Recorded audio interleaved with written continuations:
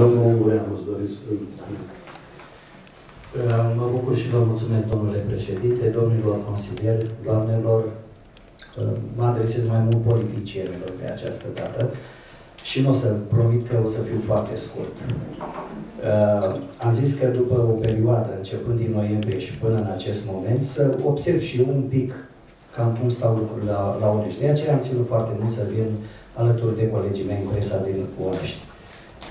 Am discutat cu foarte mulți oameni, vin oameni la mine, la redacție, îmi trimit uh, prin mijloacele potrivite tot felul de mesaje. Vreau să vă transmit un mesaj de această dată din partea cetățenilor Oneștiului.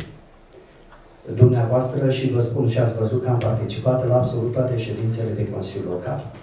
Este un lucru foarte grav pe care îl faceți dumneavoastră. Nu aveți nicio strategie de viitor, nici pe termen mediu, nici pe termen lung.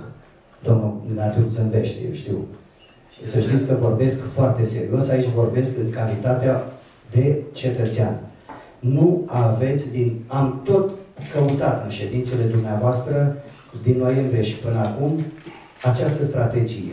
Și mă adresez domnului viceprimar cu atribuții de primar. Și am rugămintea doar dânsul să răspundă la această întrebare, că altfel creăm o dezbatere și suntem pe diverse și toată lumea vrea să se odihnească.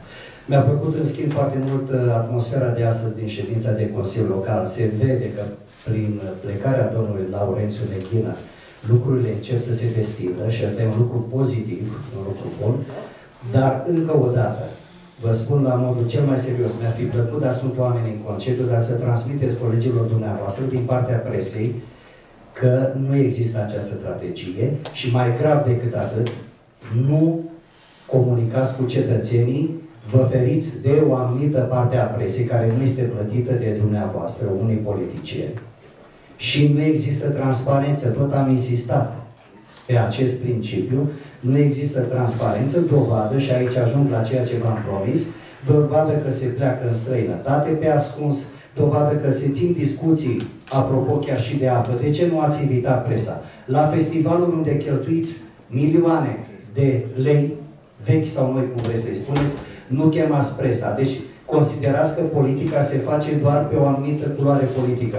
Eu vă spun foarte clar, în continuare vom încerca și poate sunt eu rău necesar din presa din Onești, să știți când veți greși, o să vă critic, când o să faceți lucruri bune, o să vă laud.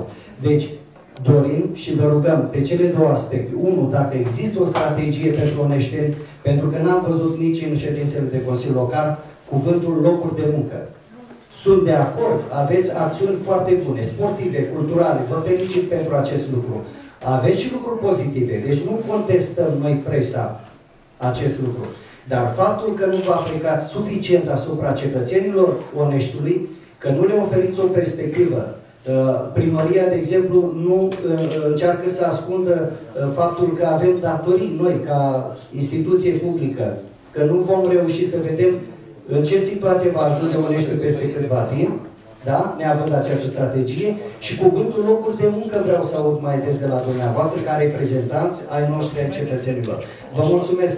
Deci rugămintea mea, transparență, nu vreau să mai văd evenimentele care uh, aud doar din presă după aia, eu fiind om în presă. Eu nu cred că sunt omul care să neglijeze acest lucru. Dar este momentul să vă puneți la punct pagina de internet în care declarațiile dumneavoastră de avere sunt puse la ascunse, deci nu se văd. Am discutat cu spânul, domnul Spânul de mai multe ori. Deci sub aspectul unei oarecare, uh, uh, să spunem, uh, greș, un, unor greșeli, chiar se ascunde intenția dumneavoastră de a nu comunica cu cetățenii. Deci vă cer atât comunicare prin intermediul presei, prin intermediul mijloacelor media, suficientă, pentru că oamenii, vă spun, îi pierdeți pentru la indiferent de culoare politică, să știți,